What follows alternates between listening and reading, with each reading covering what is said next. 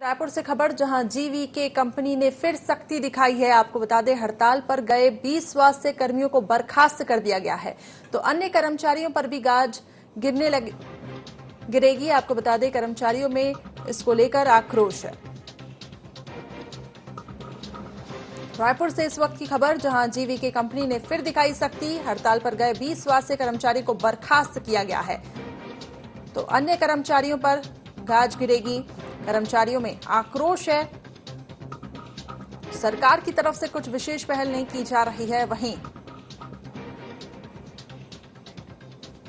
इस खबर पर ज़्यादा जानकारी के लिए मेरे सहयोगी राहुल पाली जुड़ गए हैं। जी, राहुल, जीवीके कंपनी ने फिर सख्ती दिखाई है। क्या कुछ अपडेट्स जी करिश्मा जिस प्रकार से आंदोलनकारी अपने मांगों को लेकर लगातार बैठे हुए हैं, वहीं उनका आज नौवा दिन दसवां दिन है तो कहीं ना कहीं जिस प्रकार से आंदोलनकारी के जो अपने मांगों को लेकर लगातार अड़े हुए हैं, सरकार के द्वारा कोई सूद नहीं लिया जा रहा है। वहीं जो जीवेके कंपनी के अंदर में जो कर्मचारी काम कर रहे हैं तो जीवेके कंपनी सीधे सख्त कार्रवाई करते हुए लगातार बर्खास्ती के लेटर जारी कर रहे हैं। वहीं आज जो बात की जाए तो 20 कर्मचारियों के जो बर्खास्ती के लेटर जारी कर दिए हैं। कुल टोटल अभी माना जाए तो तिहत्तर तिरसठ जो कर्मचारियों को बर्खास्त कर दिया गया है। तो आने वाले समय में सीधे जीविका कंपनी का कहना है कि लगातार यह कार्रवाई जारी रहेगी। आंदोलन को जब तक खत्म नहीं करेंगे, तब तक से वही कर्मचारियों को माने तो जब तक हमारी मांग पूरी नहीं होगी, तब तक से हम लड़े रहेंगे, चाहे कुछ भी हो जाए, चाहे पूरे कर्मचारियों को बर्खास्त कर दिया जाए, ऐसे तमाम जो मांगों को लेकर के बैठे हुए हैं तो कहीं ना कहीं जो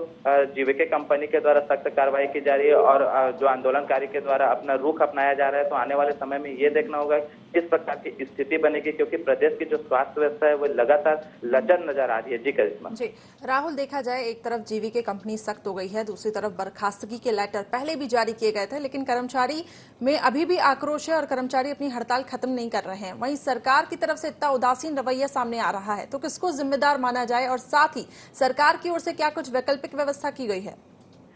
जी कर इस पर जिस प्रकार से आंदोलनकारी की बात की जाए तो वे क्रमबद्ध तरीके से सरकार को अपने मांगों के लिए अवगत कराना चाहते हैं। वहीं उनकी बात की जाए तो कल की बात की जाए तो सीधा भी ने, उन्होंने नेत्र दान करके विरोध दर्ज कराया तो कहीं ना कहीं सरकार के द्वारा अभी तक से सूद ले लेनी चाहिए थी लेकिन अभी तक से सरकार चुप्पी साधी हुई है और सीधे जीविका कंपनी से बात कर, करने पर यह सामने आ रहा है कि यह पूरे जो प्रदेश के स्वास्थ्य व्यवस्था लचर हो रही है उसके जिम्मेदार सीधे तौर पर कर्मचारियों को ठहरा ठहरा दिया जा रहा है क्योंकि कर्मचारी अपने मन से आंदोलन कर रहे हैं उनको न परमिशन दिया गया न किसी प्रकार का आंदोलन की जो परमिशन नहीं दिया गया इस कारण से जीवे कंपनी सीधे तौर पर कर्मचारियों को जिम्मेदार ठहरा रही वही सरकार की बात की जाए तो सरकार अभी तक से कोई सूद नहीं ली जा रही है सीधे तौर पर कर्मचारियों का कहना है कि सरकार को एक कदम आगे बढ़ाना चाहिए तो हम अपनी जो आंदोलन उसे खत्म करने की हमारी मांगों को लिए थोड़ा बहुत पहल करना चाहिए। जी। जी, बिल्कुल। तो सरकार की तरफ़ से कोई विशेष पहल नहीं की जा रही है। राहुल बहुत बहुत शुक्रिया हमसे जुड़ने के लिए।